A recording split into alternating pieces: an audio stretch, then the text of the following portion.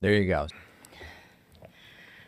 Mr. Speaker, I'd like to address the House about how children feel about masks. Remember, I was going to say, I was going to use an expression, we have to keep our country gay, but, but it's not, I mean, for some reason, it's just not great anymore.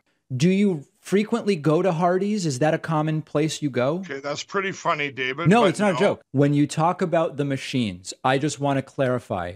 You mean electronic voting machines and those because people write to me and they say, I'm worried Mike Pillow is going to go- come after my espresso machine, my lathe, my all these other type. You Oh, I'm sure. I'm sure they do, David. Now you're just being sarcastic and the little left wing humor. I'm There, I get not.